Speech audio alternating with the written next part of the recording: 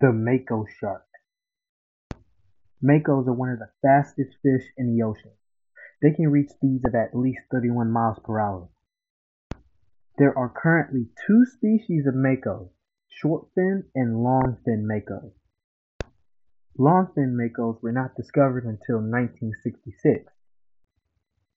Makos eat cephalopods like squid and octopus, smaller sharks, and a variety of fish. Did you know that makos actually hunt swordfish? Long-fin mako sharks are the second largest mackerel shark, second to the great white shark.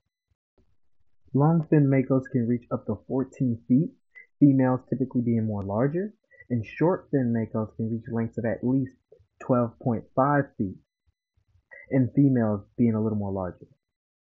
Both species are very aggressive. This is